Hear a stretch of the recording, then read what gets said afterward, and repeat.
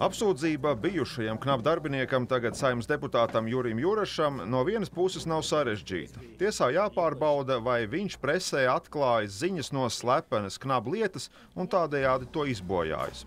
No otras puses, tiesvedība nav vienkārša. Slēgtajās sēdēs tiek gan analizētas neusticības pilnās attiecības knapu iekšienē, gan izvērtēts, vai ziņas par korupciju maz drīz būtu valsts noslēpums.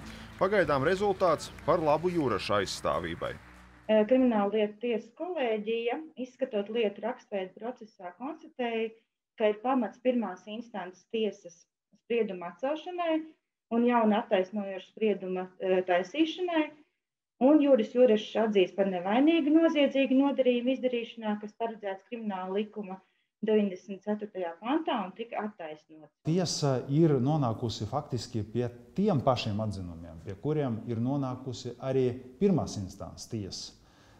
Respektīvi, tiesa secināja, ka tas, ko ir izpaudis Juris Juršs, nav bijis valsts noslēpums. Par lietas apstākļiem raidījumā jau vairāk kārt esam stāstījuši. Īsā versija ir šāda. 2015. gada 30. septembrī Jurašs darba dienas pārtraukumā Alus bārā brālis satikās ar studiju biedru Jāni Dambīti.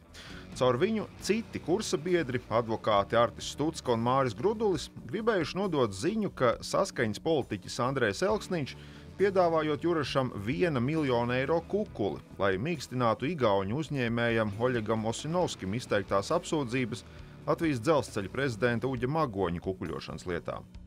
Nākamajā dienā Jurašs par uzzināto iesniedza knapu priekšniekam Jaroslavam Streļčēnokam slepenu ziņojumu.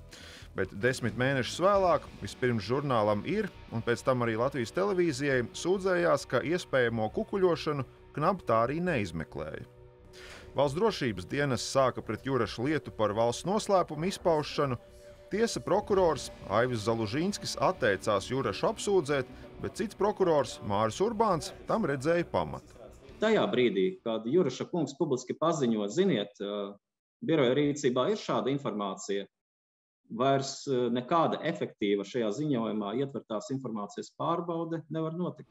Aizbildinoties ar slēgtu tiesas procesu, tiesnesis de facto nepaskaidroja, kāpēc Jūrašu attaisnoja.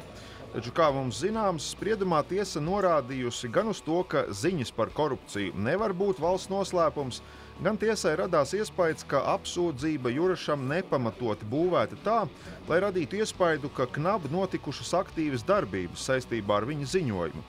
Taču tiesas vērtējumā kukuļa piedāvājuma fakta pārbaude knapi nav notikusi. Tiesa secināja šajā spriedumā, ka neviens to nav darījis, nav pārbaudījis. Un lieta ir ārkārtīgi daudz pierādījumu.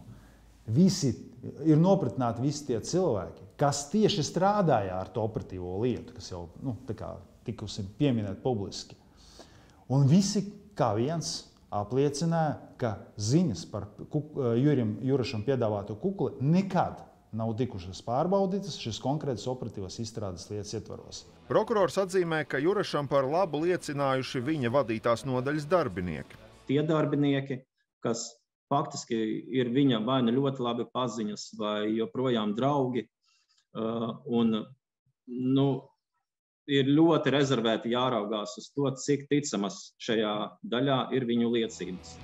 Prokuratūra jau pirms apsūdzības celšanas publiski klāstīja, ka Juraša slepenais ziņojums pusgadu vēlāk tika iekļauts vienā operatīvā lietā, numur 10616. De facto zināms, ka šai izstrādes lietai pret kādu augstu amatpersonu bija arī dots nosaukums Krauklis. Prokurora ieskatā Juraša ziņojums nebija tik viennozīmīgs par kukuļu piedāvājumu. No tā varēs arī saprast, ka knapu darbinieks tikai uzzinājis par tādu nodomu, turklāt noklusējis informācijas avotu. Tādēļ bija svarīgi operatīvo lietu turpināt. Nu, man grūti pateikt, vai tā bija apzināta Juraša rīcība, vai tā bija vienkārši tā viņam sanāca, tā, tā samudžināt to ziņojumu, ka biroja vadība nevarēja saprast, kas tas īsti ir arī radīja šo neskaidrību, kavēšanos ar uh, turpmāko uh, ziņojuma virzību un tajā ietverto ziņu pārbaudi. Jūraša aizstāvība gan apgabala tiesas spriedumu uzskata par kvalitatīvu un ir apmierināta. Nu, reāls objektīvs pamats pārsūdzēts kasācijā šo spriedumu nav. Bet nu, uh, prokurors ir neatkarīgs. Jā, ir pamats pārsūdzēt par Rīgas apgabaltiesas spriedumu, tiks iesniegts kasācijas protests, jo ir konstatēti būtiski likuma pārkāpumi šajā spriedumā. Prokurors ir pārliecināts, ka tiesa izdarījusi secinājumus tos nepamatojot un nav vērtējusi visus apsūdzības pierādījumus.